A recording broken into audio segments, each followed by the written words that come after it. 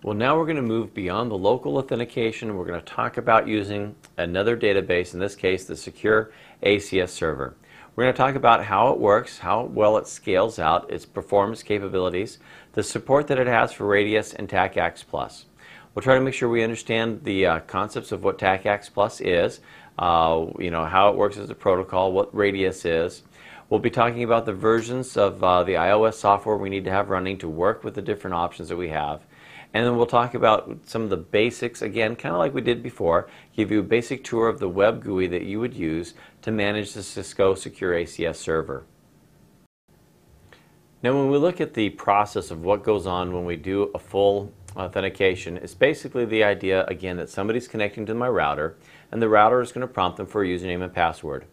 But this time, instead of using its local database, the router is going to take the information, send it out to the Cisco Secure ACS server, and at that point, that server will do the authentication.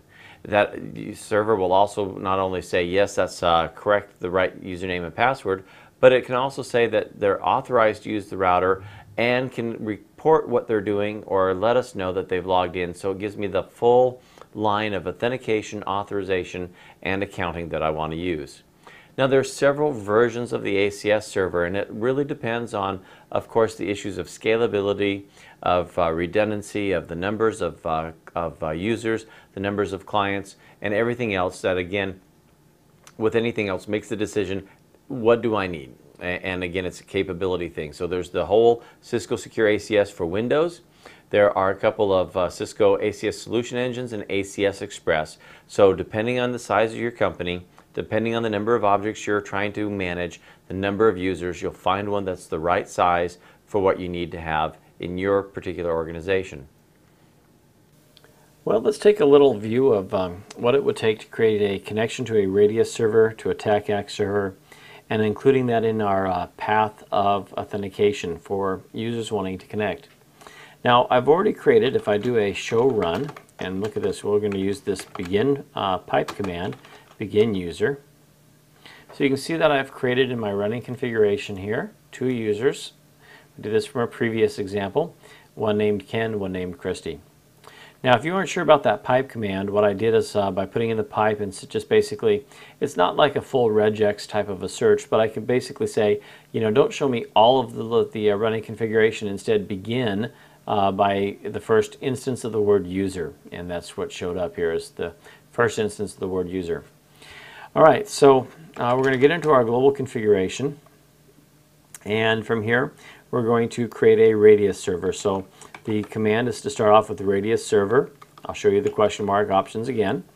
There's a number of things that we can do use to uh, work with our radius. Now, uh, so much as this course isn't about the Radius server itself, it's just important to know that the Radius server has a lot of capability. It's a full AAA authentication, authorization, and accounting. In fact, some, a lot of people attribute Radius as having a better accounting package.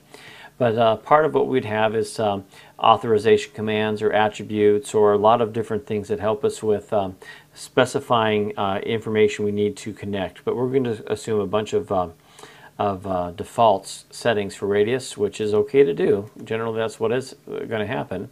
So we're going to specify the host, which is asking for either the host name or the DNS address of that particular server.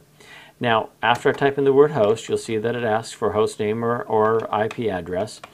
If I put in a host name, the assumption is that I've also created a name server lookup um, as a client for this router so it knows where to resolve the name. If I put in a host, then we're assuming that the routing table knows how to reach that host. So I'm going to put in just the uh, IP address.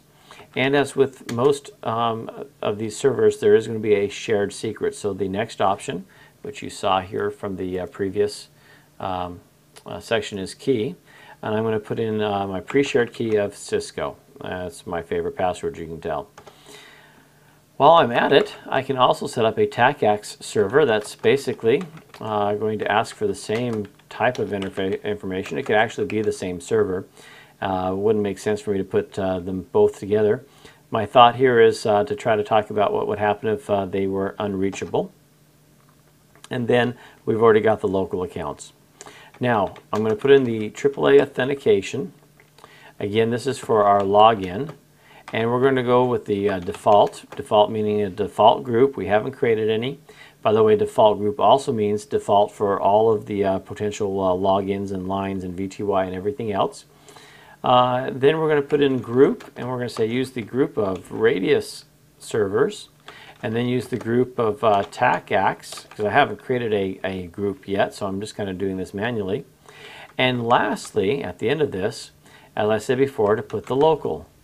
If you don't put the local in there, then we have the problem of uh, if the radius and the TACACS don't make it, uh, they, uh, that is that they are offline and not reachable, different than if they just return and saying you, you did it wrong, then we want that local authentication to be there for us.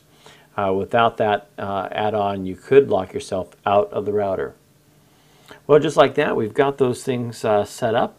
So I'll exit out of here, exit out, try to come back in, and I'll try uh, Ken and my password of Cisco. And this time, notice it didn't just bam come right on the screen. That's because it's now trying to reach out to a non-existent Radius server.